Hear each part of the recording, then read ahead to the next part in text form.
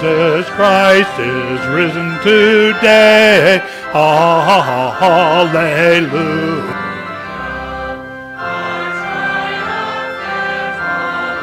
Day. Oh,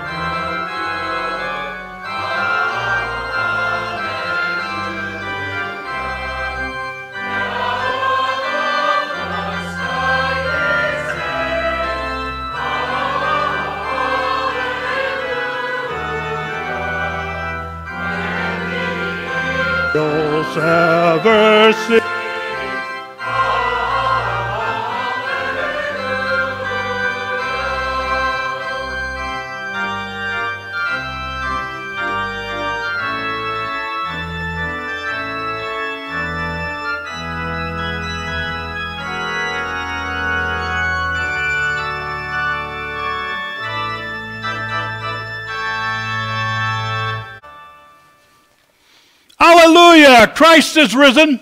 Is risen In the name of the Father, and of the Son, and of the Holy Spirit. Amen. We give thanks to you, Heavenly Father, for the grace that you have shown us through the salvation that you have accomplished for us through the resurrection of your Son, Jesus Christ our Lord. We lift our voices in praise to you and seek this day to celebrate your victory over our enemies. We ask this in the name of our God, the Father, the Son, and the Holy Spirit. Amen. Standing in the presence of our holy God, we begin to comprehend the depth of our sin. We have failed to be what he has called us to be in his Son, Jesus Christ. Sin separates us from God and leaves us deserving judgment in hell. Only by the grace and love of God shown to us through the life, death, and resurrection of Christ are we saved from death, hell, and damnation. Before God and before one another, we make confession of our grievous sins, seeking the forgiveness of Christ that Christ has won for us by his victorious resurrection. We confess, Father, we confess before you and before one another that we are unworthy to stand before you. We have sinned against you and against each other. We deserve only your wrath and punishment, but we earnestly seek forgiveness in the name of Jesus. We place our faith and trust in him and the blood of Christ shed for us on Calvary's cross. Forgive us our sins Empower us by your Holy Spirit to live the life that you have called us to. In the name of your risen Son, amen. Rejoice and celebrate, O children of God. The Father has promised to hear and to answer our pleas for forgiveness. God in Christ Jesus has opened the tomb. He has destroyed death and he has silenced the grave. God is faithful and willingly grants forgiveness to those who confess their sins. Thanks be to God that our salvation is secure in the resurrection of Christ.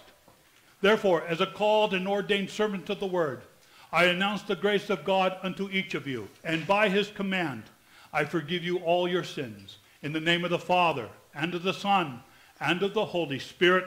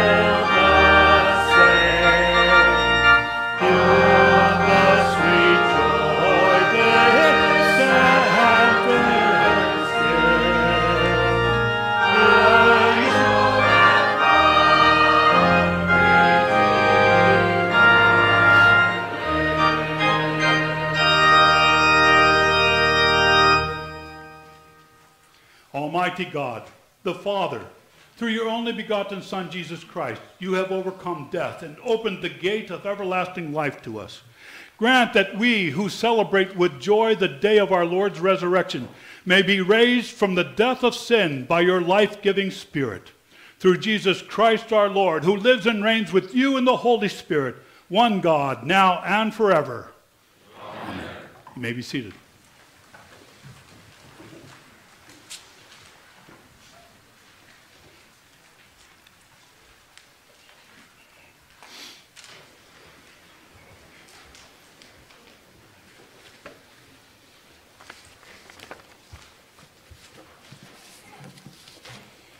The Old Testament reading for Easter celebration this morning comes from Isaiah chapter 25, starting at verse 6.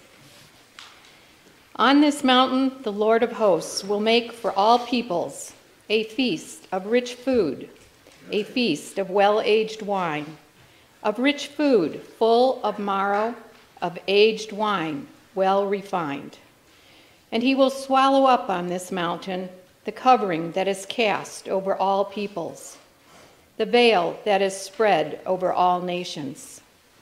He will swallow up death forever, and the Lord God will wipe away tears from all faces, and the reproach of his people he will take away from all the earth, for the Lord has spoken.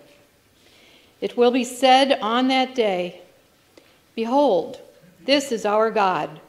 We have waited for him that he might save us. This is the Lord. We have waited for him. Let us be glad and rejoice in his salvation. This is the word of the Lord. Thanks be to God. Today's epistle lesson comes from 1 Corinthians chapter 15 beginning at verse 1. Now I would remind you, brothers, of the gospel I preached to you, which you received, in which you stand, and by which you are being saved. If you hold fast to the word I preached to you, unless you believed in vain. For I delivered to you as of first importance what I also received that Christ died for our sins in accordance with the Scriptures, that he was buried, that he was raised on the third day in accordance with the Scriptures, and that he appeared to Cephas, then to the twelve. Then he appeared to more than 500 brothers at one time, most of whom are still alive, though some have fallen asleep. Then he appeared to James, then to all the apostles. Last of all, as to one untimely born, he appeared also to me. For I am the least of the apostles, unworthy to be called an apostle, because I persecuted the church of God. But by the grace of God, I am what I am, and his grace toward me was not in vain. On the contrary, I worked harder than any of them, though it was not I, but the grace of God that is with me. Whether then it was I or they, so we preach, and so you believed. This is the word of the Lord.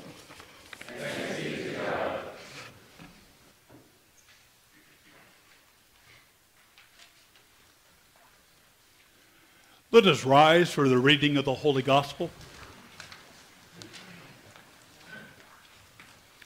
The Holy Gospel this morning is taken from the according to St. Mark beginning at the first verse of the 16th chapter. When the Sabbath was past, Mary Magdalene and Mary, the mother of James and Salome, bought spices so that they might go and anoint him. And very early on the first day of the week, when the sun had risen, they went to the tomb.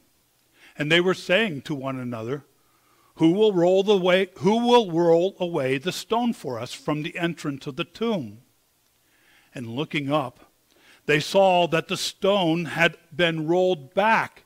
It was very large. And entering the tomb, they saw a young man sitting on the right side, dressed in a white robe. And they were alarmed. And he said to them, Do not be alarmed. You seek Jesus of Nazareth, who was crucified. He has risen. He is not here. See the place where they laid him. But go tell his disciples and Peter that he is going before you to Galilee. There you will see him just as he told you. And they went out and fled from the tomb, for trembling and astonishment had seized them. And they said nothing to anyone, for they were afraid. Here ends our gospel reading.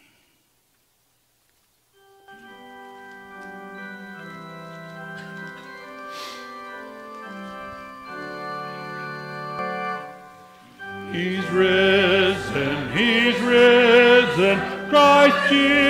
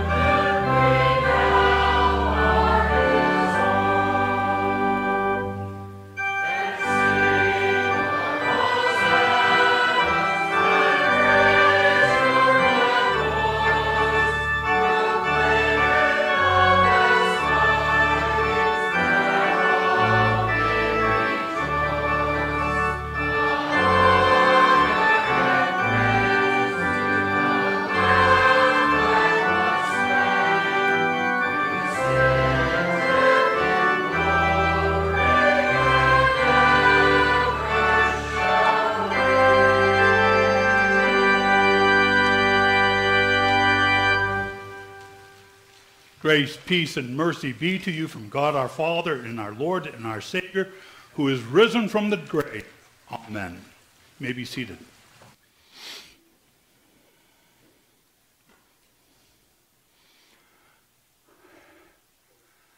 Again, my Easter has been made with the music, Mark. Thank you very much. And not only with the music, but with all of your participation not only do we have a full organ playing, but we have everyone a full voice this morning, too. Marvelous. And what a joy to celebrate the resurrection today. It makes a difference. For Easter defines who we are, and it also defines for us what we do. I debated long and hard what this was going to be today. Uh, for many of you, you recognize that I'm retiring. This will be my last, if you will, public, official Easter in the pulpit. And I, I, went back through, and perhaps maybe you can recall some of the Easter messages that we had. There was one that, that I was a takeoff of the word Nike, okay, which actually is from the, the Greek word uh, Nike or Nike, which means victory okay, which has in mind why, why Nike used it. It means victory in the Greek. And so it is also that we just do it because the victory has been given to you and to me through Christ Jesus. There was another sermon, if you recall, Scott Stout and his friend built a door. Remember that door? It was up here, and, and then we, we, we've all gone to the tomb, just like the women, and, and we have met the stone. And we ask the question who is going to roll away the stone? And we've met the closed doors in our lives too. The doors have been slammed shut, locked, and we cannot get beyond them many times in many of the problems and many of the burdens that we face. But Easter is the message where God opens up the tomb and He opens up our doors and he makes us free and he welcomes us into his presence. And then he walks and he talks with us wherever we go. Oh, gee whiz, what were some of the other ones that, that, that I had? I, I, well, the one that we had was, was where we introduced the resurrection with a, with a balloon. Uh, again, the, the image of a balloon being inflated with our air doesn't go very far. But if our lives are connected with a balloon that is filled with helium, Christ, He takes us with us. It lasted all of Easter up in our ceiling, if you recall. It lasted all of Easter. And then on, on, on Ascension, what we did was we took down the balloon, and, and the kids and I, we all went outside and we released the balloon because He went to heaven and he promises to take us there. Well, there's so many of them, but there's one there's one message, and that's only because it's really not that old. One message that really hits me, and I want to share it with you again this morning. If you will, take your bulletins and, and look at the gospel lesson again today. When the Sabbath was past, Mary Magdalene and, the Mary, and Mary, the mother of James and Salome, bought spices so that they might go and anoint him. Very early on the first day of the week, when the sun had risen, they, they went to the tomb. They were talking to one another. They were talking about things that, that were happening that whole week, I'm sure. And then all one kind of scratches their heads and simply says, Who's going to roll away the stone from us, for us? From the entrance of the tomb. That's something we hadn't thought about. Now, this, this, this stone was, was huge, okay? And, and it weighed a lot. Five of the women could probably not move the stone at all by themselves because it had been buried in, probably in a rut in front of the tomb. Who's going to roll away the tomb? But they didn't have to because looking up, they saw that the stone had been rolled back and it was very large. And entering the tomb, they, they saw this young man sitting on the right side. And he was dressed in white robes. Well, who can this be? And naturally, then they were alarmed. They were afraid. What is this? But the angel said to them, Do not be alarmed. Do not be afraid. You seek Jesus of Nazareth, who was crucified. He is risen. He is not here. See the place where they laid him? Now, at that point, in astonishment, surprise, they were eyewitnesses of the resurrection of our Lord and our Savior Jesus Christ. I imagine all kinds of feelings filled their hearts and their minds as it went as, as they went as they went home. In fact, as they went home, they told them that they, they were trembling and astonished, and they did not tell everyone. But it's this next verse, the instruction from the angel, that gets me. It's the instruction that the angels give to them. In verse 7, go Tell his disciples and Peter that he's going before you to Galilee. Did you hear it? I've read through it. Mark is one of the shortest gospels on the resurrection.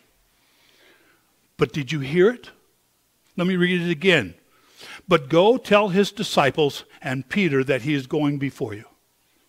Did you hear it again? One Sunday, about 12 years ago, I was reading it and I was studying for the sermon, and all of a sudden it, it kind of hits me through some of the readings. Listen again. Go tell his disciples. What's the next phrase? And Peter. Wow. All of a sudden it jumped, jumped out at me. Two words for a sermon. and Peter. But why? Why did the angel single out Peter? Why didn't he tell, and Judas? Well, Judas wasn't going to be around to listen, was he? And you know, we know that fate. But what about Matthew? What about any one of the other disciples who had, had run away from him? But the angel, it's like the angel wants us to, to specifically say, go and tell Peter not just the disciples, but make sure that Peter knows. You're, you're understanding, don't you? Because Peter's the one that who was bold. No, Lord, no, Lord, I shall never, never deny you. No, Lord, I shall never run away. And yet, before the rooster crowed, he denied him three times. So make sure that Peter knows that I'm alive make sure that I want to see Peter with you. Now, you can imagine what kind of mind Peter was in. Peter was in remorse. He wept out. He went out and wept bitterly. You know the mind that Peter was in, uh, ashamed that he had betrayed, that he had denied the Lord. How would he be even able to face the Lord after what he had done? after the way that he had forsaken him. But the angel says, Go and tell Peter that Jesus wants to see him. Go and tell Peter that he is risen from the dead. And by raising from the dead, everything is okay because sins are forgiven. Now, here's the message because as I read that, and what jumped out at me is, I'm Peter. I'm Peter. I'm the one who has denied Christ in words, in thoughts, and in deeds. I have turned my back on him. I have sworn, I have cursed. I have used his name improperly. I have not studied his word. Uh, I'm Peter. Why, why, why would God want to see me? Why would Jesus want to see me? So go and tell Larry. Go and tell Gail. Go and tell Paul. Go and tell Doug. Go and tell each and every one of you. Go and tell that Jesus is risen from the dead And he wants to see you. And he wants to offer you his forgiveness. He wants to have fellowship with you. He wants to walk with you and he wants to talk with you once more again as his disciple. You see, I fit that bill. You also do that too. Now, here's the thing. Here's the thing. When, when, whenever you have a doctor who does something marvelous for you. I mean, something marvelous for you. It's not just taking a couple antibiotics to get over the flu. But you've all been at that point when a doctor has done something magnificent that makes a difference between sometimes life and death, whether it be for you or whether it be for a loved one or someone that you know. Right? What do you usually do? What do you usually tell your friends? What do you usually say? Don't, don't you go and talk about what the doctor had did? Had, had done? Don't you, don't you talk about the things that, that, that happened as well? Is it any different for you and for me for what Christ has done for us? And he also tells us now to go and to proclaim the message of the resurrection, to proclaim that he is risen from the dead and that he lives and reigns eternally. And here's my friends, here's the thing is we recognize where we identify with Peter. But you know somebody else, whether it be in your family or whether it be in your circle of friends or whether it be at work, who are Peters. And they aren't here this morning. They aren't here to hear the message of the proclamation of the gospel. And so God is telling you and me to go forth from this place and to proclaim to the Peters that you know that all things are well. No matter what you have done, no matter how much you have denied Him, no matter what kind of sin you have committed, God wants to forgive you and offer, you, to, offer to have fellowship with you. That's the same thing that God is asking us to do to proclaim the message of the resurrection. So listen again to these words. Go, tell his disciples and Peter that he's going before you to Galilee. There you will see him just as he told you. Amen. Now the peace that passes all understanding, keep our hearts and minds in this true faith unto life everlasting. Amen.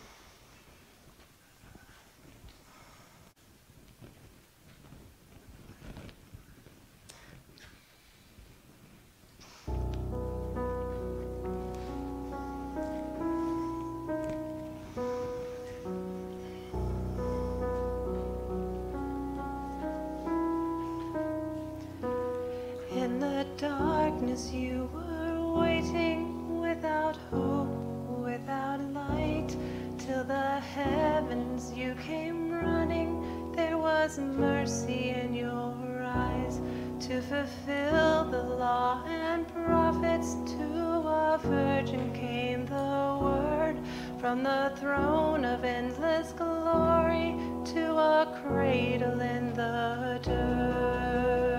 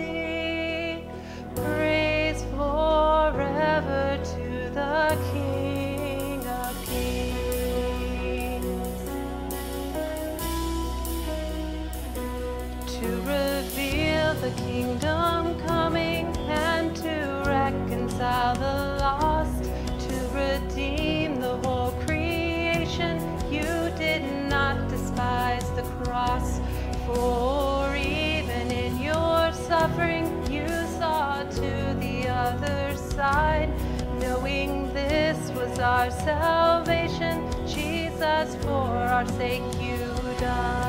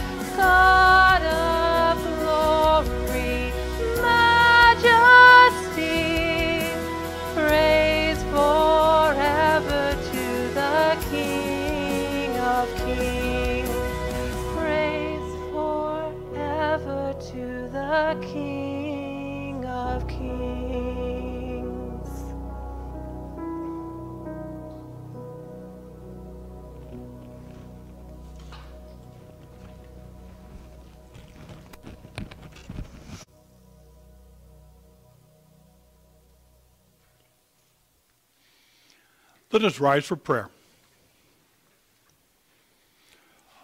Almighty and eternal God and Father, we praise and glorify your name, for you have done great things for us, and we are glad.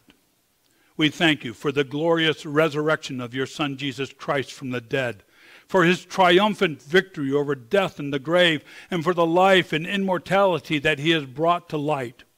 We rejoice that by baptism we have been buried with him into his death and raised again to a new life and the sure hope of everlasting life.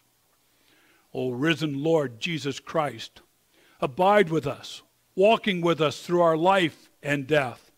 Help us to know the hope to which you have called us as your redeemed children. Comfort us with the forgiveness of sins and uplift us with the Easter power and joy in all of our doubts and conflicts. Give us your Spirit so that we may daily conquer sin, death, and the devil, and remain steadfast and firm, always busy in the work of the Lord. Bless our land and those who rule over it. Make our government the guardian of peace and of justice. We pray, grant true wisdom in reverence for your holy name, so that your church may flourish among us and the gospel of triumphant life in Christ may be spread rapidly. Bless our nation and be with us during this time of the pandemic. Help us, O oh Lord, again to be mindful of the blessings that you have granted to us in health. Fill our homes with resurrection, life, and joy. Make the light of Easter victory shine into every dark place in our lives and give us abundant life in our risen Lord.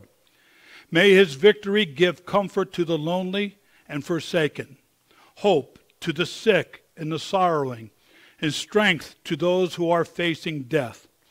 May the song of Easter victory sound again among all who are fearful and uncertain, lifting them out of their doubt and defeat and leading them back to the glorious confidence and certainty of faith in Him who was dead but now is alive forevermore. We would remember those that we name before you in our hearts. But we also bring the petitions of our hearts and the members of our congregation before you. We pray for Jackie DeBow, for Barb Fuhrer, for Donna Huber, for Ulla Nystrom, for Kathy Ongpen, for Wanda Rosenzweig, for Mary's niece Mandy, for Dorothy Boer, for the mother of Amy Lipez, we pray also for Judy Brown. We also remember Lisa Shaw. We give you thanks, O Lord, for Paul Graver and the improvement in health. We ask continue to be with him. Watch over each and every one of us, O Lord, through the precious name of our Lord and our Savior Jesus Christ. Amen.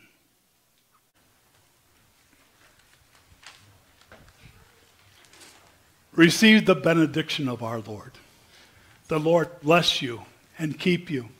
The Lord makes his face shine upon you, be gracious unto you.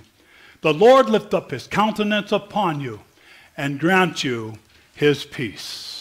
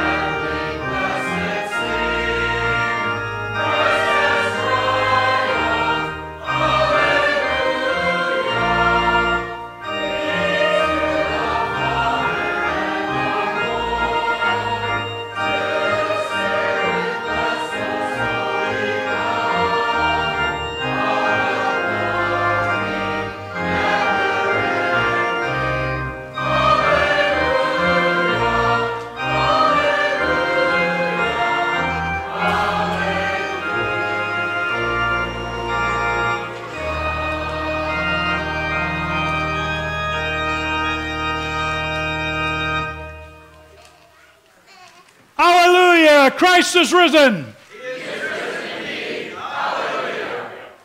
May be seated. I don't know about you, but I'm, I'm all jumpy and joyous inside. Mark, thank you. You have blessed our service. God has given you a gift.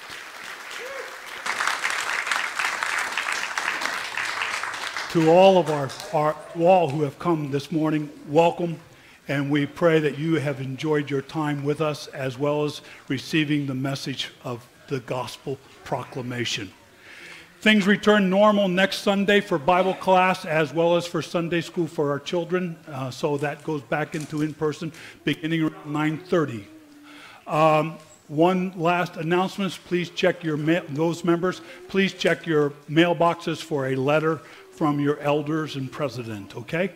God's blessings and may the Lord be with each and every one of you and your families this week.